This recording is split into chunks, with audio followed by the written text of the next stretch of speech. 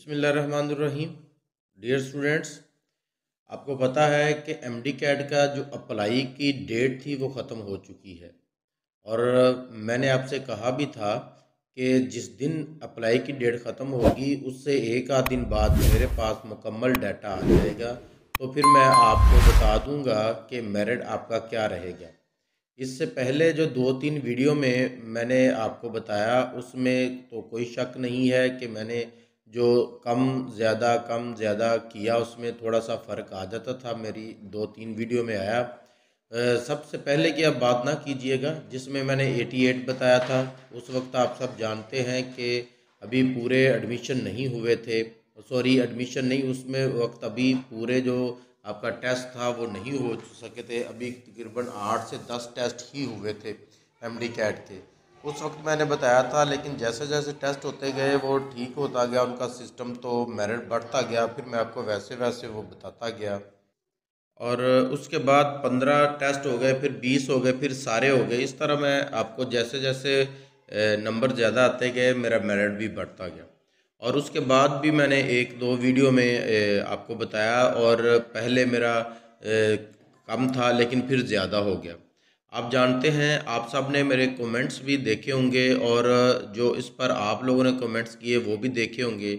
जो मैंने last video upload की थी, उसमें मैंने जो मेरिट बताया था तो कुछ दोस्तों के, कुछ तालब इलमों के, उसी में कमेंट्स थे कि इससे ज़्यादा तो मेरे नंबर हैं, जो आपने मेरिट बताया है, जैसे के पी के का कराची का तो खसूस उन दोनों इलाकों के, बलूचिस्तान का भी एक कमेंट था।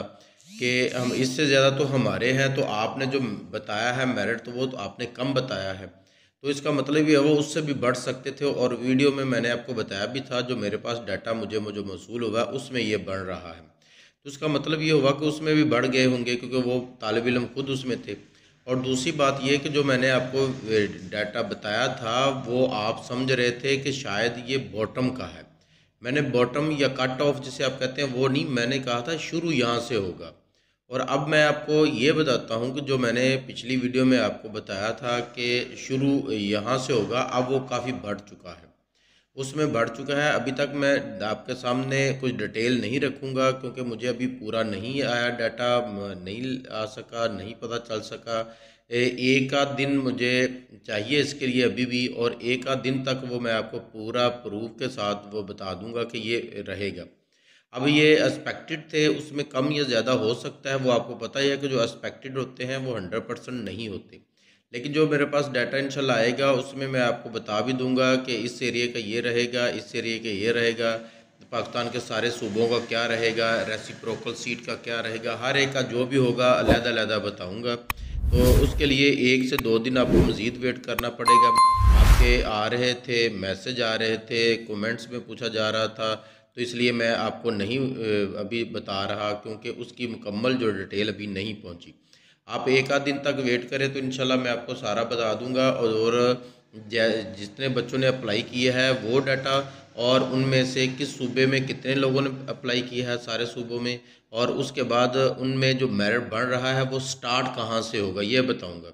अलबत्त मैं पंजाब की बात कर रहा हूँ कि पंजाब का जो केई का मेरिट होगा, वो आप हैरान हो जाएँगे। आप सबने, बल्कि काफ़ी लोगों ने इख्तलाफ भी किया था मुझसे कि ऐसा नहीं होगा।